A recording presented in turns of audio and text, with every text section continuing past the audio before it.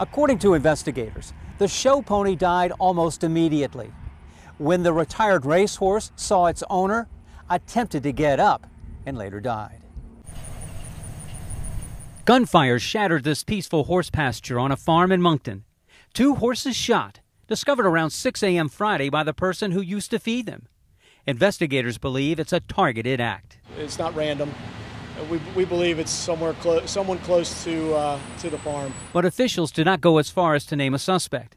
A veterinarian will perform a necropsy on the horses to determine the type of weapon used. Meanwhile, the public is outraged. We were shocked to hear that it happened, and it's so unusual for this area to have something happen like that. This is such a nice area. We have lots of farms and horse farms around, and uh, it just uh, is, is unbelievable. It just sounds horrific to think someone would just walk up to two innocent animals and kill them. Oh, that's just brutal. It doesn't make any sense. I've never heard of any type of cruelty like that.